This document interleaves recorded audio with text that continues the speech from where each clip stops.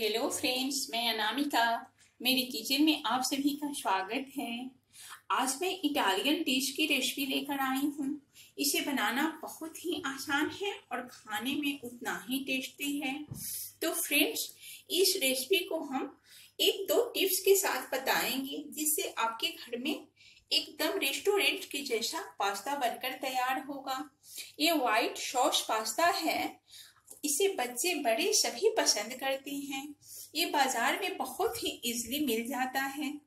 तो फ्रेंड्स अगर आज की मेरी व्हाइट सॉस पास्ता की रेसिपी आपको अच्छी लगे तो मेरे चैनल को लाइक कीजिए सब्सक्राइब कीजिए शेयर कीजिए और कमेंट करना मत भूलिए। आज हम पैनी पास्ता बनाएँगे। तो ये इटालियन डिश है। यहाँ पे हमने 100 ग्राम पैनी पास्ता लिया है।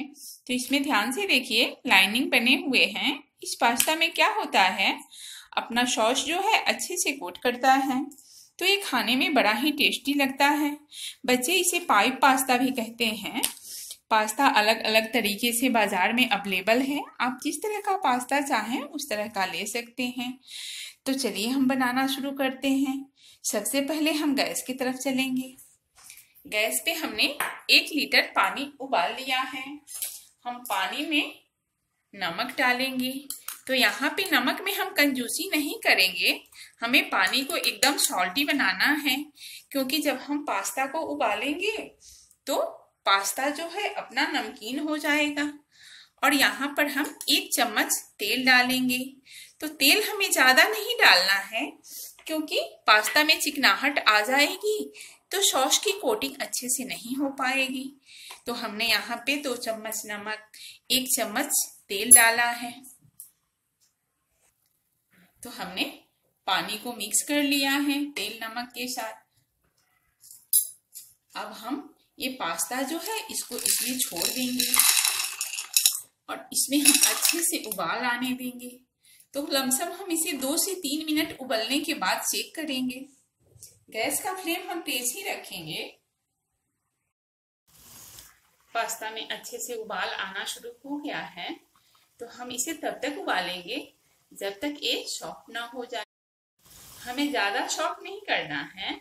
तो हम इसे बीच में आपको बताएँगे हमें कितना इसे उबालना है। पास्ता को हमने तेज फ्लेम पे बॉयल किया है।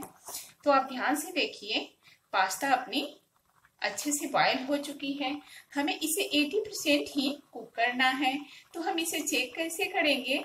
हम एक पास्ता को निकालेंगे और ऐसे रख के और एक नाइफ से उसको ऐसे काटेंगे। तो आप ध्यान से देखिए, पास्ता तो अपनी कट रही है, पर अच्छे से गली नहीं है। तो ये जो 20 परसेंट है, उसे हम सॉस में कुक करेंगे। तो अब हम गैस के फ्लेम को ऑफ़ कर लेंगे और इसे एक स्टेनर में छान लेंगे। तो ऐसे हम इसे एक स्टेनर में छान लेंगे। और ये ओवर कुक ना हो, इसके लिए हम इसे ठंडे पानी से धो देंगे। तो ऐसे हम थोड़ा थोड़ा पानी डाल के और ठंडे पानी से धो देंगे। तो आप ध्यान से देखिए, अपनी पास्ता जो है एकदम बढ़िया बॉयल हुआ है। स्टेनर से पानी निकल चुका है। अब हम इसे एक बोल में ट्रांसफ़र कर लेंगे। आप चाहें तो इसे ठंडे जगह पे, यानी कि पंखे के नीचे, या ऐसे भी रख सकते हैं। इससे क्या होगा, एक दूसरे से चिपकेगा नहीं। गैस पे एक हम फ्राई पैन रखेंगे और उसमें हम दो चम्मच तेल डालेंगे। तो यहाँ पे आप ओलिव ऑयल तेल डाल सकते हैं। तेल को हम अच्छे से गर्म होने देंगे। तेल गरम हो चुका है। अब हम उसमें डालेंगे एक चम्मच लहसुन। इसे हमने बारीक काट लिया है। तो यहाँ पे हम एक चम्मच लहसुन डालेंगे और इसे कुछ सेकेंड के लिए तेज फ्लेम पे ही फ्राई करेंगे। गैस का फ्लेम हमें तेज ही रखना है। इसे हमें स्लो नहीं करना है। लहसुन फ्राई हो चुका है। अब हम उसमें एक मीडियम साइज़ प्याज डालेंगे जिसे हमने बारीक काट लिया और इसे भी हम आधा मिनट तेज फ्लेम पे फ्राई कर लेंगे।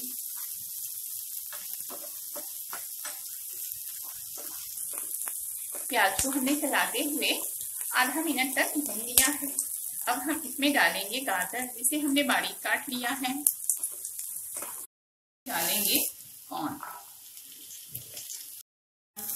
ओनियन गाजर, सबको हमने आधा मिनट तक भून लिया है। अब हम इसमें डालेंगे कैप्सिकम तो यहाँ पे हम ग्रीन कैप्सिकम डाल रहे हैं। आप चाहें तो इसमें रेड येलो कोई भी कैप्सिकम डाल सकते हैं। और इसे हम आधा मिनट तक और फ्राई करेंगे। तो हम बराबर इसे स्टर करते रहेंगे और मीडियम फ्लेम पे हम इसे फ्राई करेंगे। सब्ज़ी को हमें गलने नहीं देना है। जस्ट इसकी कच्चापन दूर करनी है। इसमें डालेंगे नमक। तो हमने नमक पास्ता बॉयल करने में डाला था। इसके लिए थोड़ा सा नमक हम डालेंगे, जो कि सब्ज़ी में अच्छे से मिक्स हो जाए। और इसे हम अच्छे से चला लेंगे। तो सब्ज़ी को हमें चलाते हुए फ्राई करना है।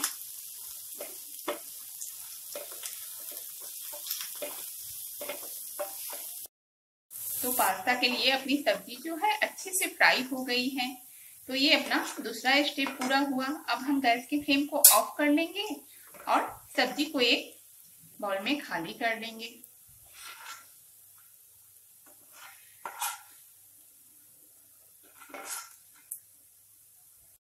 हमने सब्ज़ी खाली करके पैन को अच्छे से क्लीन कर लिया है।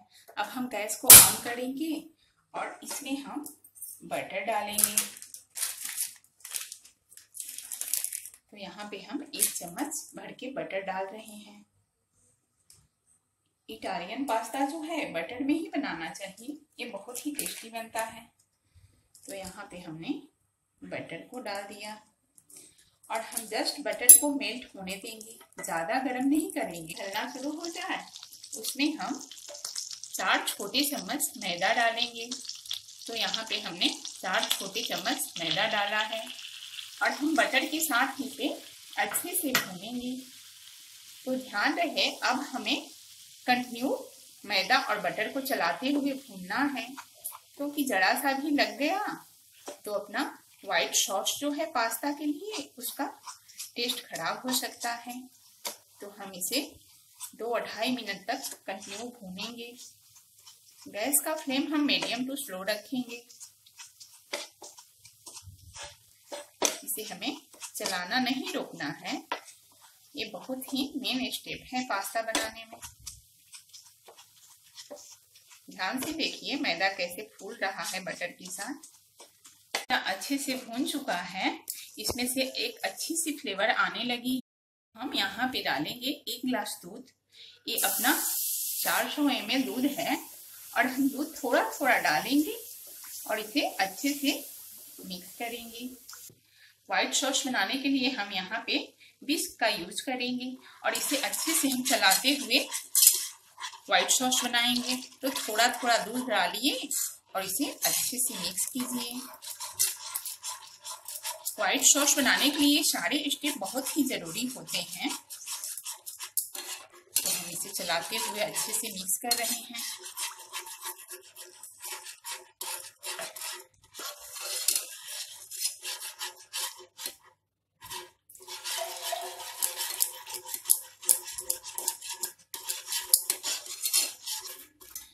हमें दूध को दो से तीन स्टेप करके डालना है।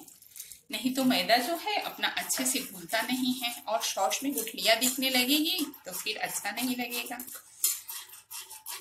तो हमने अच्छे से इसे मिक्स कर लिया है। अब हम चम्मच के सहारे इसे अच्छे से पका लेंगे।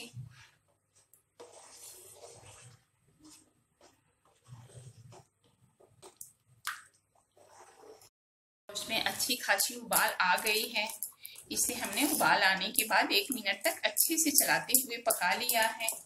अब हम गैस के फ्लेम को स्लो कर लेंगे।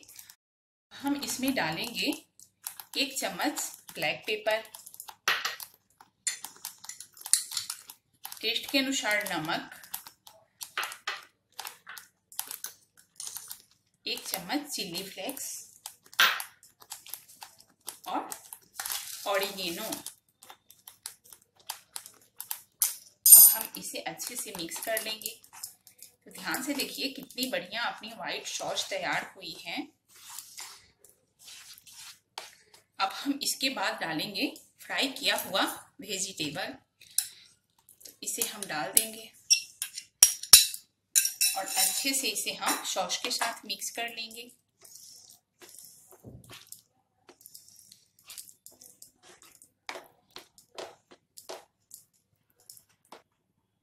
सब्ज़ी अच्छे से मिक्स हो गई है। अब हम इसमें डालेंगे पास्ता। तो हम पास्ता को थोड़ा थोड़ा डाल के और सॉस के साथ अच्छे से मिक्स कर लेंगे। तो अब ध्यान से देखिए, यहाँ पे अपना सॉस जो है पास्ता के साथ कैसे कोट हो रहा है। हम अच्छे से इसे मिक्स करके और आधा मिनट तक हम इसे सॉस के साथ पकाएँगे।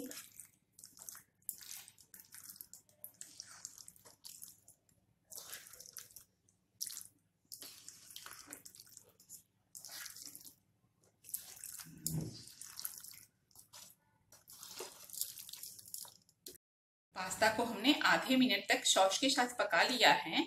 अब हम इसमें डालेंगे आधा कटोरी ग्रेडेड चीज़। चीज़ से पास्ता और भी टेस्टी हो जाता है और इसे हम अच्छे से मिक्स कर लेंगे। ये मेरा होममेड क्रीम है। इससे पास्ता और भी टेस्टी होता है। तो हम इसमें क्रीम को डाल के और अच्छे से इसे मिक्स करेंगे। ध्यान से देखिए कितनी बढ़िया अपना व्हाइट पास्ता तैयार हो रही है।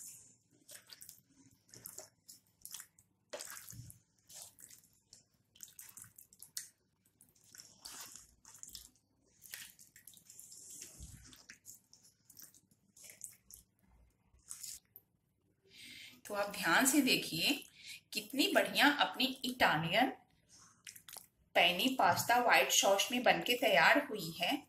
और इसमें चीज़ का जो है फ्लेवर वो तो बहुत ही सुंदर आता है। तो इसे हम अब तैयार कर लिए हैं। हम गैस के फ्लेम को ऑफ़ कर लेंगे। अब हम इसे सर्व करेंगे। तो ध्यान से देखिए कितना बढ़िया अपना चीज़ के साथ व्हाइट पास्ता बनकर तैयार हुआ है। तो फ्रेंड्स गर्मा गर्म व्हाइट सॉस पास्ता बनकर तैयार है। इस इटालियन डिश को आप ज़रूर ट्राई कीजिए। ये खाने में बड़ा ही लजीज लगता है। तो फ्रेंड्स अगर आज की मेरी रेसिपी आपको अच्छी लगी हो तो मेरे चैनल को लाइक कीजिए सब्सक्राइब कीजिए शेयर कीजिए और कमेंट करना मत भूलिए। हाँ हमने जो इसमें एक दो टिप्स बताए हैं उस पर आप ज़रूर ध्यान दीजिएगा। पानी उबालते टाइम ही हमें सॉल्ट डालना है। तो सॉल्ट की मात्रा जो है, वो ज़्यादा होनी चाहिए। यहाँ पे हम तेल कम डालेंगे। ये मेरा दूसरा टिप्स है। क्योंकि पास्ते में चिकनाहट आ जाती है तो फिर सॉस की कोटिंग अच्छे से नहीं हो पाती है। अभी आप ध्यान से देखिए अपना एक एक पास्ता में व्हाइट सॉस की कितनी बारीकी से कोटिंग हुई है और इसके साथ चीज़ जो है अच्छे से मेल्ट हो गया है। तो फ्रेंड्स इस रेसिपी को आप ज़रूर ट्राई कीजिए। अगर आज की मेरी ये रेसिपी आपको अच्छी लगे तो मेरे चैनल को लाइक कीजिए सब्सक्राइब कीजिए शेयर कीजिए और कमेंट करना मत भूलिए। धन्यवाद।